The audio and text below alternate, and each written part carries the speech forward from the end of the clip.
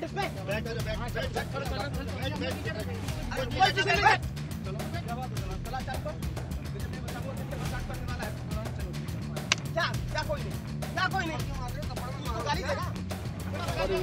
जो हो लीगल हो रहा है लीगल है लीगल है तो, तो आप, लीगल कर रहे हो तो लीगल चलने दो ना उससे क्या फ़र्क पड़ रहा है आप लीगल कर रहे हो तो लीगल करो ना देखिए जरा वर्दीधारियों में बिना ड्यूटी पर रहे भी कितनी गर्मी है। खाकी की तगड़ी हनक है। कि आओ देखा न ताओ। सुबह सुबह आर्मी और सिपाही भर्ती की तैयारी करने वाले इस लड़के पर ही कंटाप चढ़ दिया। और तो और, बाइक पर बैठा कर ले जाते हुए भी दिख रहे हैं। लेकिन यहाँ सवाल ये उठता है कि आखिर इस लड़के की गलती क्या है? क्या ये बदतमीजी कर रहा था या किसी की पिटाई? चलिए हम आपको बताते हैं। इनकी गलती बस इतनी सी थी कि इनकी कोहनी सादी वर्दी में दौड़ रहे सिपाही से टच हो गई थी और इस पर जनाब इतना आग बबूला हुए कि फ़ोन करके दोस्त को बुलाया और कंटाप जड़ते हुए अपने साथ लेकर चले गए। ये दोनों बराबर भाग रहे तो मैं कंधे पे ऐसे करा ये डक्का मत भैया साइड में रनिंग कर लो। साइड में रनिंग कर भैया यार।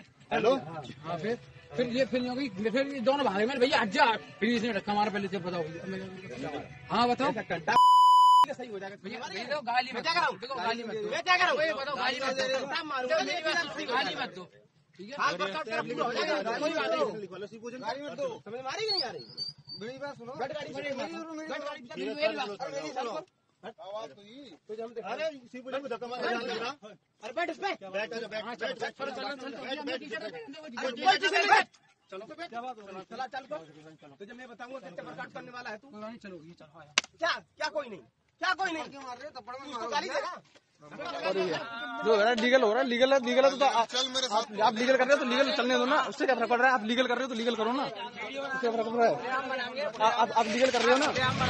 लीगल चलिए।